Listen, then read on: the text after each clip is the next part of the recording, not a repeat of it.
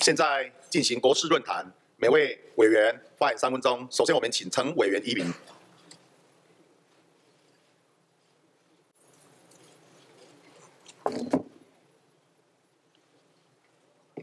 好，呃，院长、各位委员，大家早。本席今天要讲的题目是华航机师罢工，蔡政府荒腔走板。大年初四以来，历经长达七天、一百六十小时的华航机师的罢工，前后历经四次的协商，而终于在昨天晚上八点半取得共识后落幕。预计此次的华航营收损失超超过五亿元，但是损失最大的却是华航的商誉，而且是我们全体要搭华航的民众的损失的权益，也重创了台湾的观光的产业以及国际的形象。这过程中也凸显了蔡政府的无能，苏政苏内阁荒腔走板，毫无协调的能力。面对机师的罢工。蔡英文从走春的总统变成了神隐的总统，行政院长苏贞昌的接地气内阁也坐视不理，放任罢工事件的发展，毫无危机处理的能力。其实，在华航股权中，航方费占百分之四十五，行政院开发基金持有九点五的股份，中华电信也有四点八的股份，这些泛公股的股权已经接近一半，达四十九点九帕。政府当然有权利去做所有的重大决定，但是交通部却说华航是上市公司，政府无权干预劳资协商的结果。这样子的说法令人无法接受，我们只能够说是行政怠惰。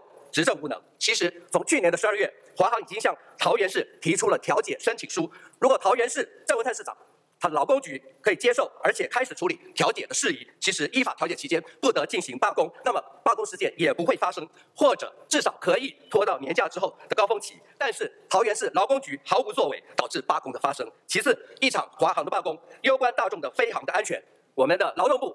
部长也神隐，却由一个劳动关系司的司长在那边主导。但是很多罢工的内容，其实需要是劳动条件司司长进来介入。都不要讲说外籍技师的问题，也牵涉到行发会，牵涉到我们国发会的问题。所以最后，本席呼吁蔡政府正视 C 安的问题，积极处理兼顾劳工及消费者权益的保障。面对危机四伏的国际形势，低迷的我们国内的经济的发展，蔡政府苏内阁不能再荒腔走板，尸位素餐。台湾经不起这样蛮开无能的执政者的考验。以上，谢谢。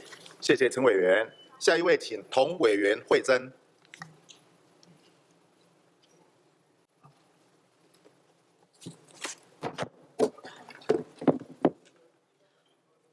啊，苏院长，各位委员，大家好。呃，国人在过去的三年里面，在民进党执政之下痛苦万分，民怨四起，人民隐忍了三年。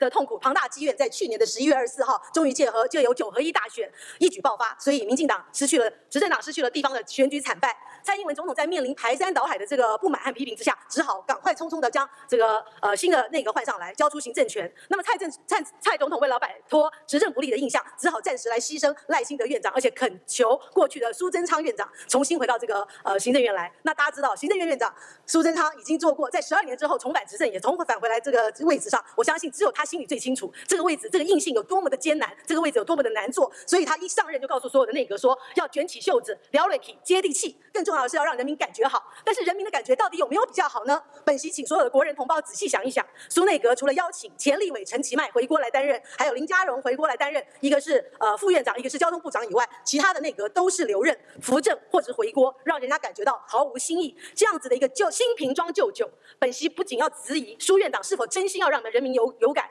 这样子留任九成以上的阁员是这样的施政，能不能让人民耳目一新？所以我们回到真实的实质的呃执政层面来看。苏内阁就任，昨天已经满一个月。在过去的这三十天里面，台湾的社会有没有任何的改变？没有。不但儿虐事件频传，酒驾争议不断，而且经济部还罔顾过去年的公投结果，公开的宣布二零二五要自然自然废核。而政务委员又提出来要把中正纪念堂改成立法院，甚至于连我们民生用品，大家平常要买的鸡蛋都买不到。我想要问一问，最近的航空业，本席就是最大的受难受受难者。那个航空华航因为取消，本席改搭长荣航空，今天早上凌晨才回到台湾，差点赶不上我们的院会。我想要请问，在这些痛苦的阶段过程当中，苏院长、苏内阁，你们的人在哪里？本席要诚挚的呼吁苏内阁，不要再操弄意识形态，好好的发展国家的经济，因为台湾国人的生活已经痛苦不堪。面对于这个世界上的形势，经济跟外交的合纵连横，台湾已经被严重的边缘化。我想要提醒大家。我们已经没有办法再承受一丝一毫的伤害，只有寻求两岸的合作，放下意识形态，朝野齐心，我们台湾才有可能创共创多赢的局面，让我们中华民国重新有机会站上国际的舞台，让大家民众对中华民国重新未来的荣景有希望。谢谢大家。谢谢童委员，下一位请吕委员玉林。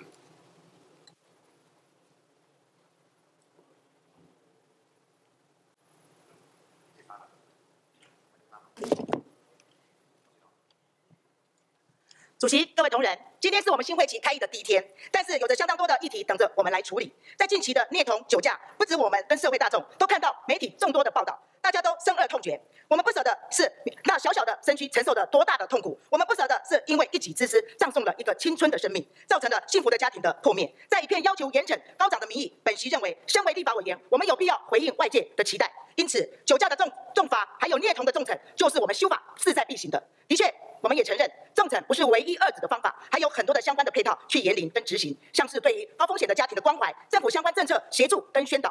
本席也要提醒我们刚刚上任的苏院长，应该要立即着手来严领。但是我们身为立法委员，我们能做的就是在于相关的修法的配套，在于刑法跟法者部分给予严惩，希望透过严惩来达到恫吓的效用，这是最后的一道防线，来彻底的阻绝酒驾肇事、虐童的案件的发生。本席要强调的，这不是盲目，而是希望在所有的政策手段都没有办法预防的情况之下，对于酒驾、虐童的惩罚，希望能够达到吓阻的效果。而免于让我们的孩子跟我们的民众活在暗黑的恐惧跟失去至亲的悲痛中。最后，本席也已经提出了刑法一百八十五之三与刑法两百八十六的修法，在于酒驾肇事致人于死，比照刑法杀人罪的刑责，最高可处死刑、无期徒刑或者是十年以上有期徒刑；在于虐童致死，则是处死刑。本席要在这边最后的呼吁，我们应该要尽速完成酒驾跟虐童的修法，来回应社会大众的期待。谢谢。谢谢李委员。下一位，请江委员启程。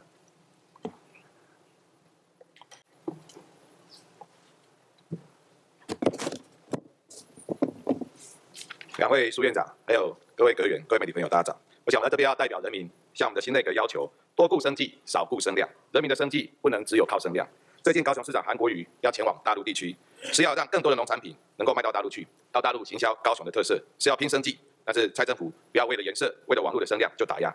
自己去不了，别人也别想去，甚至要修法延长限制政务官赴大陆的年限长达十五年，什么都要政府许可。什么时候我们又回到威权的体制？嘴巴说人权，做的是威权。国安不能打折，人权就可以打折吗？苏文昌院长竞选新北市市长的时候曾经说，如果新北市有机会跟中国任何城市交流，他都赞成，多交流是好事。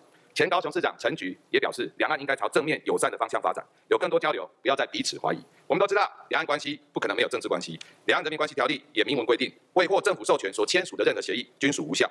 韩国瑜就算想签任何协定，也不会产生任何效力。蔡政府把高雄市长当成政敌吗？前高雄市长陈菊两次赴大陆，蔡总统都表示全力支持，怎么换成韩国瑜，一切就变了调？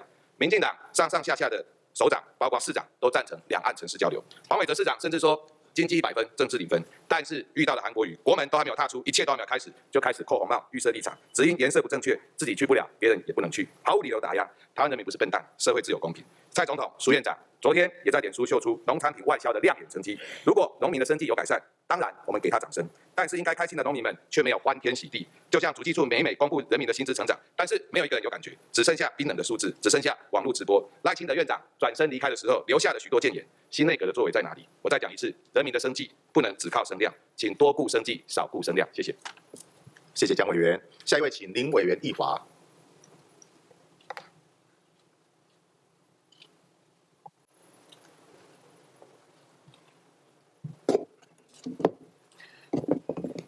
院长、各位官员，还有各位媒体朋友，大家早安。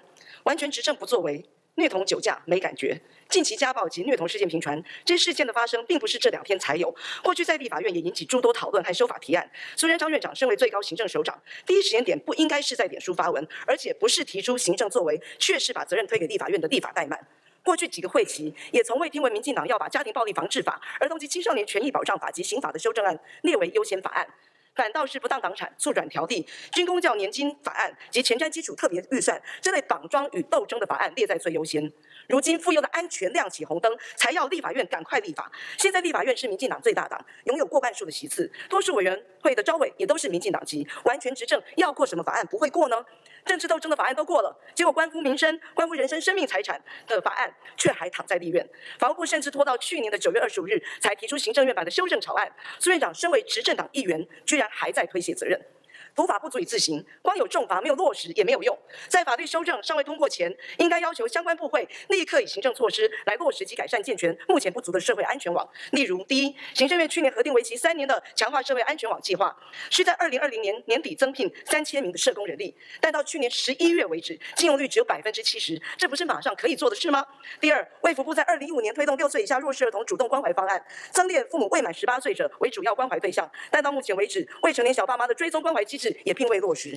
第三，卫福部及教育部对于托育人员和教保人员都有进行消极资格或是不适任的登录，但相关讯息并未完全公开，家长仍无从挑选优质的托育场所。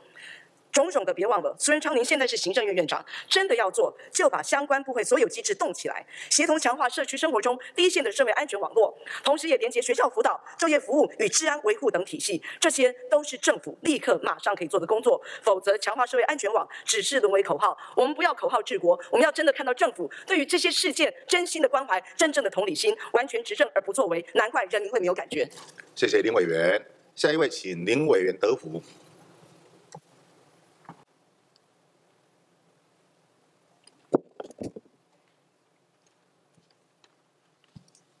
啊，两位苏院长，还有呃所有与会的呃苏团队，啊，还有各位同仁、各位媒体记者、女士先生，我想这次整个华航机师的罢工啊，可以说蔡政府啊是荒腔走板哦，因为呃这个台湾整个民航史上首次的机师罢工，历经了一百六十个小时，但是可能是一场劳资和旅客以及啊呃这个可以说接书啊资方将工会啊逼上罢工之路，那工会也错误策略，也让自己深陷于不利。那协商整个过程啊，其实我们都看到，在整个过程里面也没有看到行政院副院长陈其迈。还有劳动部长许明春，还有交通部长林佳龙，包括华航董事长何阮轩、桃园市长郑文灿。但是啊，在昨天晚上集体现身啊，来见证签署团体协约。那这也让外界啊解读说如收收割的大军呐。哦，那其实整个罢工起源呐，是来自那这个华航空务员呐罢工。当时可以说华航对空务员诉求啊是照单全收。哦，但是这回认为做足了万全准备的华航之荒，在整个罢工的态度上非常的硬。大年初三用词强硬的新闻稿来。这个更促成整个工会的一个罢工，而劳资前三次的协商，劳动部也有别于过去啊空务员罢工的整个这个主动出头来协商，让空务员呐可以说在罢工上面迅速的落幕。那这回仅有派出啊啊这个市长级的层次与会，直到昨天第四次的协商，那劳动部才派出啊呃这个市长啊刘世豪，总算成功扮演穿针引线的关键角色，并让罢工昨晚宣告落幕。那但是第三次红眼协商全程直播，昨昨天午后直直到昨天晚上成了一个密室的协商。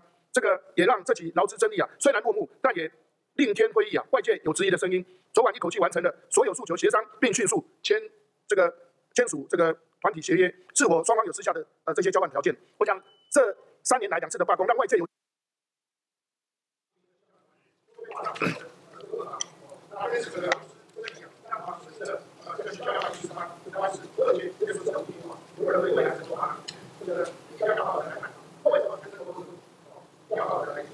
好，谢谢丁委员。下一位，请柯委员致恩。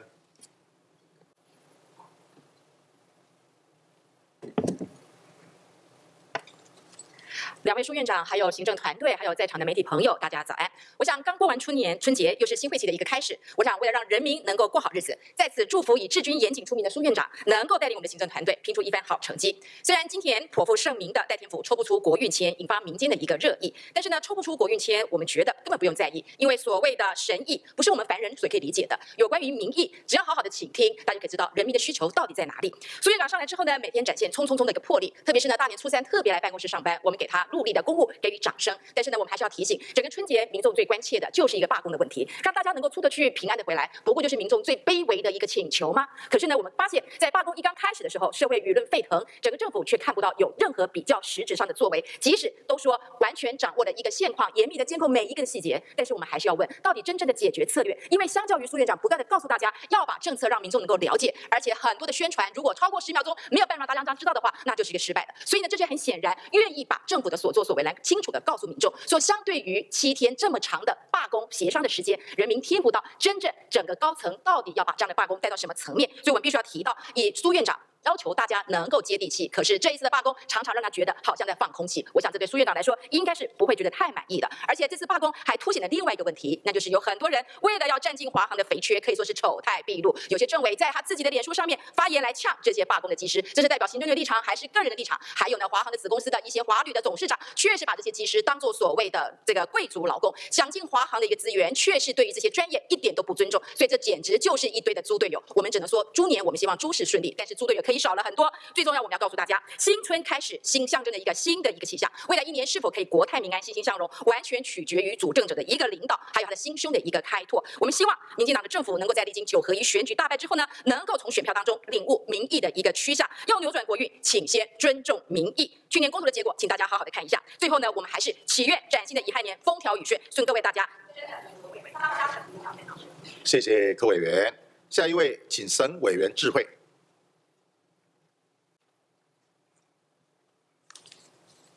蔡英文总统自从担任总统以来，我们看到的爱台湾还是反民主，我看人民都在看，人民心中有一把尺。蔡英文的意志而组成的行政院长，到现在苏贞昌院长已经是第三任了。我们知道。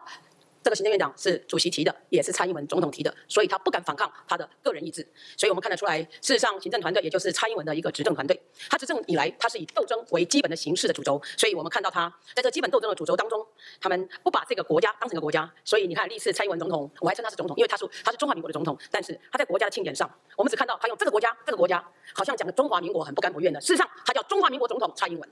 我在这里要告诉他，再下来我们所看到的就是他的施政逐渐走上暴力的立法。也逐步的走上败坏台湾这个事实。最近有几件事情我们可以看得出来。我们看到年改，这个年改是个划建设法的年改，这个年改是污蔑公务人员是米同的年改，是不愿意沟通年改。但是我们所看到的，我要警告我们行政院长，你要注意的，明年的警大、警专的招生将锐减近百分之七十五，这个数字你必须要注意。第二个，我们警察特考也因为警察不敢退休了，明年要减招考试百分之九十，到时候我们年轻人不敢成为。公教人员，我们优秀的文官体制，难道等到六十岁退休之后，全部断崖式的跳下去吗？这就是我们连改的下场，就是你们斗争阶级斗争的下场。在下，我要告诉你们，民进党利用多数的优势，暴力的立法，制造了许多的黑机关，制造很多的肥缺，制造了很多不专业的人。但是，这是你们执政。我们没有办法执着，但是我要告诉各位的，就是您强行的立法一立修，造成劳资双方都输，人民也输。停用核电，造成高科技不敢再继续留在台湾，因为缺电，所以他必须出走。我们不承认九二的共识，造成西进受阻，等等，都造成台湾非常大的隐忧跟祸患。所以我要告诉蔡英文总统，台湾不是蔡英文一个人的台湾，民主不是民进党定义的民主才叫做民主。本席坚信，台湾的价值是全民矢志捍卫中华民国宪法规范的民有、民治、民享的政府，这才是我们真正的中华。谢谢沈委员。下一位，请吴委员致阳。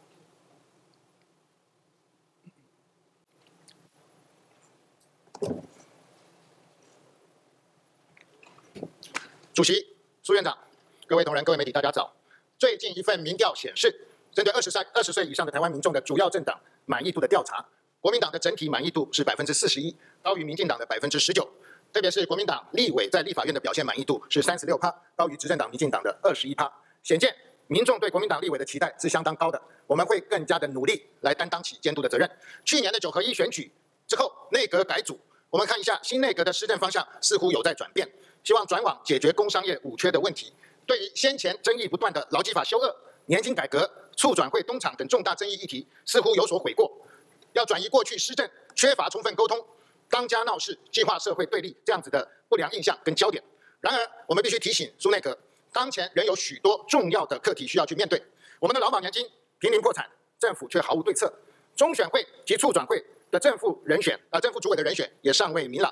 你要怎么样提出符合社会认为公正可以接受的人选？将来他们的运作又如何能符合民主法治的运作标准？